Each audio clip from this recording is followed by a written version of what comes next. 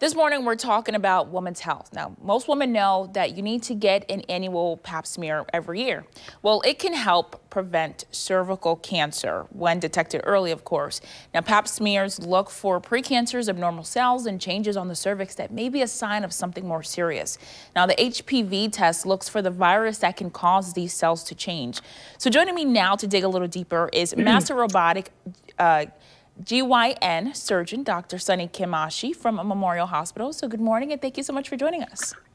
Good morning, Brianna. Thank you for having me. Absolutely. So when should women uh, start getting pap smears? So pap smear, our recommendation is at 21. It used to be a lot earlier, but the HPV um, can be eradicated on its own. So now we're starting at the age of 21. And how often should a woman get pap smears? Should it be annually, every six months? So there are big difference. Annual examination need to be done annually. Cervical cancer screening is a part of the annual examination.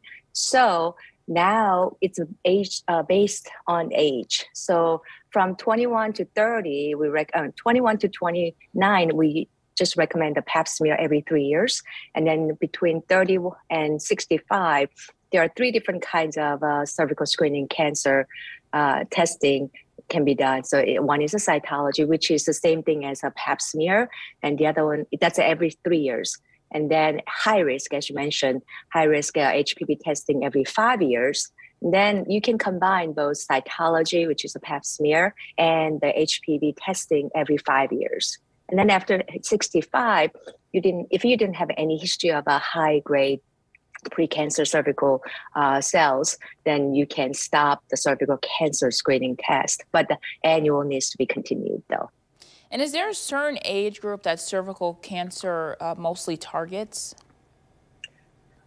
Not necessarily, but the, based on this recommendation, it's uh, between 30 and 65. So anybody can get um, the cervical cancer, anybody can get the HPV infection, but we concentrate at the age group 30 and 65. And we know in recent years there's been a vaccine for HPV. How does that uh, mm-hmm. play a role in lowering your risk for cervical cancer? Amazingly, actually. So this uh, vaccination reduced the uh, cervical cancer incidence dramatically. However, if you look at the um, cervical cancer diagnosed patient, about 60% of them never had a cervical uh, cancer screening test within five years. And then also 20% of them are um, the group that they did not have a proper follow up after abnormal pap smear done. Wow. So I am curious to know, you know, with uh, the COVID 19 vaccines, uh, is there any way that you should space them out before getting your HPV vaccine, or does that not matter? The HPV vaccine is recommended the age wise from 9 to 45 for men and women. So if you are worried about the COVID vaccine and you want to separate, you don't have to get it um, combined all together at the same time. But as I mean, I highly recommend HPV vaccination. So because the cervical cancer can be prevented. And we know that the HPV vaccine is for men and women. Um, tell me a mm-hmm. little bit about that. Um, age is, as I said before, it's from 9 to 45, men and women. It used to be only for women from 9 to 26.